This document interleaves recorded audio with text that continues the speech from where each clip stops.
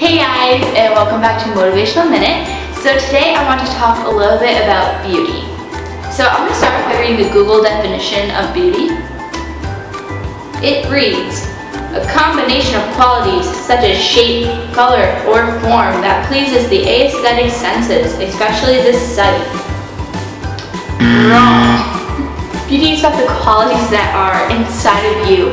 Beauty is about being the best person that you want to be. People tell you to be one thing, to look a certain way. You don't have to look that way. You need to dress how you want to make yourself happy. You need to do your hair how you want.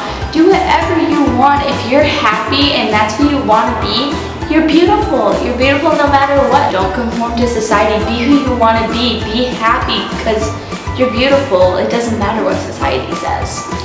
Be you because you are beautiful. And that's all the time we have for today, so I'll see you next week.